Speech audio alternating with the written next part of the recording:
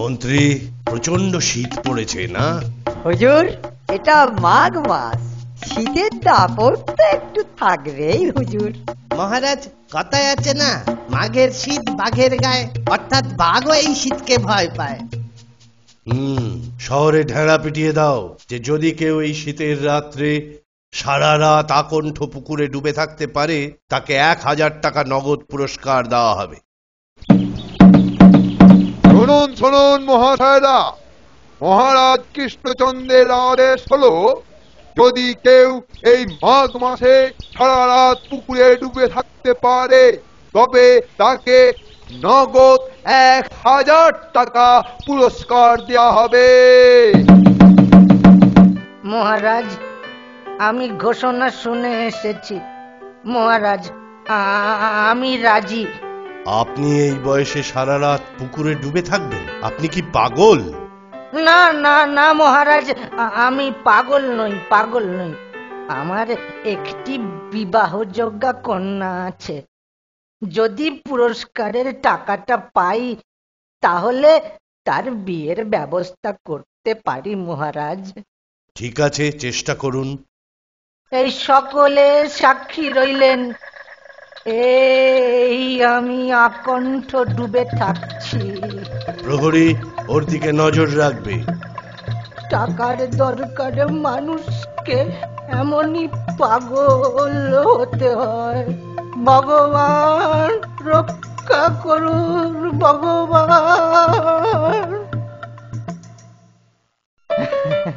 হুজুর হুজুর এবার এবার পুরস্কারের টাকাটা। আচ্ছা ব্রাহ্মণ এই কনকনে শীতের রাত্রে আপনি কি করে গলা অবধি জলে ডুবেছিলেন? মহারাজ মহারাজ আকাশে নক্ষত্র টিপ টিপ করে কেমন জ্বলছে তাই দেখতে দেখতে রাত কেটে গেল।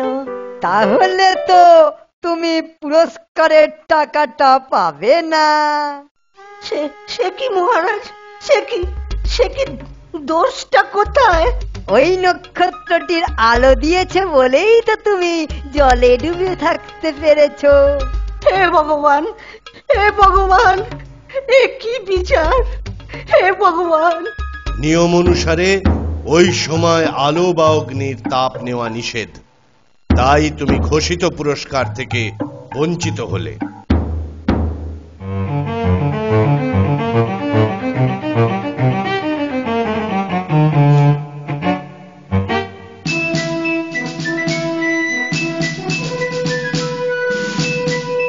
গোপাল গোপাল বাঁচাও ভাই বাঁচাও ভাই গোপাল। গোপাল বলো তো বলো তো গোপাল এটা কি রাজার ন্যায় বিচার গোপাল? গোপাল। শুনলাম সব সভায়। শুনেছি তুমি ন্যায় বিচারে রাজাকে সাহায্য করো। কিন্তু কিন্তু গোপাল তুমি চুপ করে রইলে কেন? আমি কথা দিচ্ছি। আপনার পুরস্কারের টাকা আপনাকে আমি পাইয়ে দেব। আমায় দুদিন সময় দিন।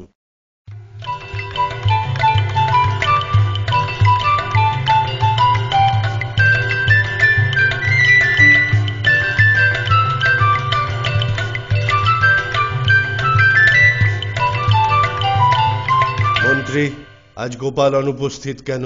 পেয়াদা পাঠাও। পাঠাচ্ছে হুজুর। পেয়াদা গোপালের খোঁজ নিয়ে এসো। জি হুজুর এক্ষুনি খবর আনছি।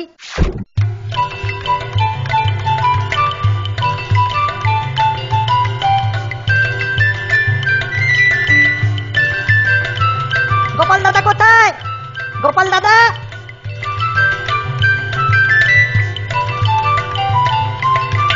এই এই যে কি করছ?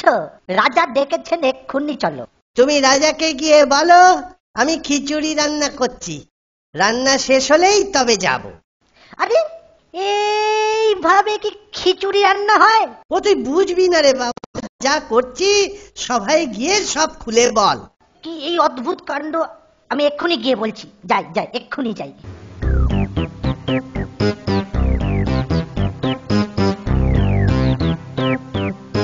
কি হলো? গোপাল কই?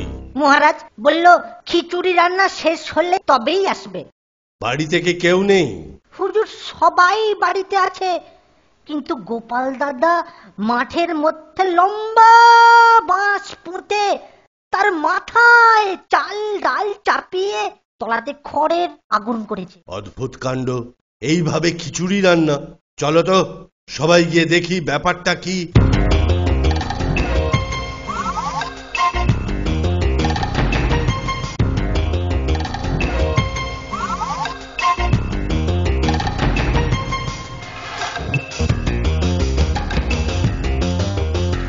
গোপাল তুমি বাড়ি ছেড়ে মাঠে কেন? হুজুর কাজ করছি। কি কাজ করছ? আগে রান্না করছি। মাঠের মধ্যে কি রান্না করছ? মহারাজ খিচুড়ি রান্না হচ্ছে দেখছেন না? আচ্ছা গোপাল তুমি কি পাগল হলে? না মহারাজ মাথা আমার ঠিকই আছে। আরে বাবা অত উঁচুতে হাড়ি। আর নিচে দিচ্ছ খড়ের জাল। এতে কি খিচুড়ি হবে? হবে মহারাজ ঠিকই হবে। আরে বাপু তুমি বুঝছ না কেন? এই সামান্য আগুনের আঁচ অত উঁচুতে কি পৌঁছয়? যদি একটা ক্ষুদ্র নক্ষত্রের তাপ আকাশের অত উঁচু থেকে পুকুরের জল গরম করতে পারে তাহলে এই সামান্য দূর থেকে হাঁড়ির জল ঠিকই গরম হবে। তাতে কি খিচুড়ি হবে? নক্ষত্রের তাপ যদি ব্রাহ্মণের শরীর গরম করতে পারে তাহলে এই তাপও খিচুড়ি তৈরি করে দেবে মহারাজ।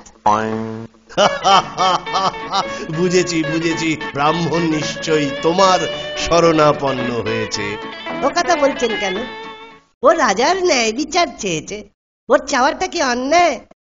তুমি কালই ব্রাহ্মণকে নিয়ে রাজসভায় আসবে। আমি ঘোষিত পুরস্কারের টাকা দিয়ে দেব। ধন্য গোপাল ধন্য তুমি ধন্য ধন্য।